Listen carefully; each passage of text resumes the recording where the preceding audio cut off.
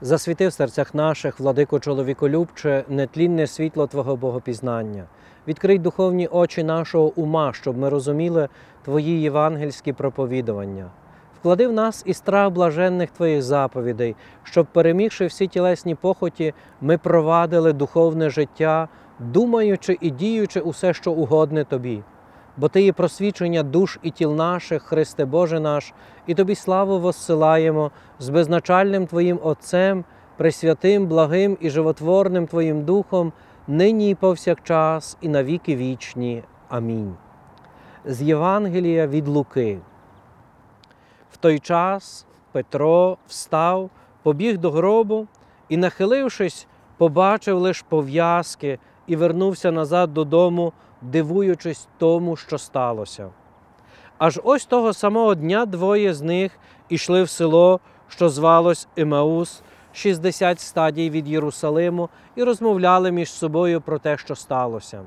Як вони розмовляли та сперечалися між собою, Ісус наближився і йшов разом з ними, але очі їм заступило, і вони його не пізнали.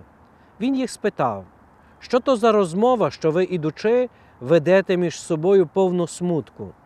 Озвався тоді один з них на ім'я Клеопа і йому каже: Ти один хіба чужинець у Єрусалимі і не знаєш, що цими днями в ньому сталося. І він спитав їх, що? Вони йому сказали, те, що сталося з Ісусом Назарянином, мужем, що був пророком, могутній ділом та словом перед Богом і всім народом, та як наші первосвященники і князі видали його на засуд смертний і розп'яли. А ми сподівались, що він той, хто має визволити Ізраїля. До того ж, усього ось третій день сьогодні, як це сталося. Деякі з наших жінок, щоправда, нас здивували. Вони пішли були ранесенько до гробу, та, не знайшовши його тіла, вернулися і нам оповіли, що бачили ангелів, які їм з'явилися і сказали, що він живий. Деякі із наших пішли до гробу і знайшли так, як жінки сказали, але його вони не бачили. Тоді він до них промовив: О нерозумні і повільні серцем, щоб повірити всьому, що пророки були сповістили. Хіба не треба було Христові таке страждати і так увійти у свою славу? І, почавши від Мойсея та від усіх пророків, він вияснював їм те, що в усім писанні написано про нього. Коли вони наблизилися до села, куди йшли, Ісус удав, що хоче простувати далі. Вони ж наполягали, кажучи, зостанься з нами, бо вже вечоріє, і день уже похилився. Він увійшов, щоб зостатись, і от як він був за столом з ними, взяв хліб, благословив і, переломивши його, дав їм. Тоді відкрилися в них очі, і вони його пізнали. Та він зник від них. І казали води один до одного: чи не горіло наше серце в нас у грудях, коли він промовляв до нас у дорозі, де вияснював нам Писання? І негайно вони рушили і вернулися в Єрусалим, де знайшли зібраних одинадцятьох і тих, що були з ними, які їм сказали: Христос справді воскрес і з'явився Симонові. А ці розповіли те, що сталося в дорозі, і як вони його пізнали при ламанні хліба. В, сьогоднішніх, в сьогоднішньому Євангелії ми чуємо подвійне об'явлення Воскреслого Христа.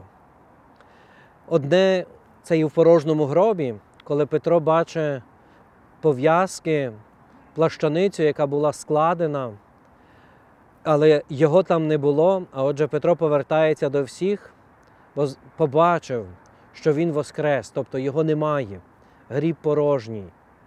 А друге об'явлення Ісуса, який іде поруч з апостолами, Клеопою і іншим учнем, яким може бути кожен з нас, слухає уважно, про що ми розповідаємо йому в нашому, в нашому житті, а пізніше розповідає, слухаючи нас, промовляє до нас і дає себе пізнати у Євхаристії.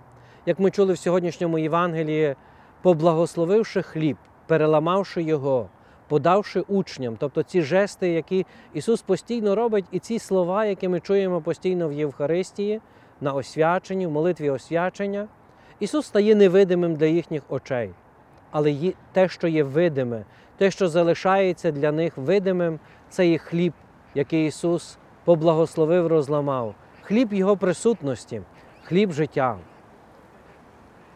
Господи Ісусе, допоможи нам кожного разу, приступаючи до таїнств Твоєї присутності, до Євхаристії, бути свідомими, що Ти є нашим Воскресінням, Ти є хлібом життя, а ми, які їмо цей хліб, житимемо вічно. Слава Отцю і Сину, і Святому Духові, і нині, і повсякчас, і навіки вічні. Амінь.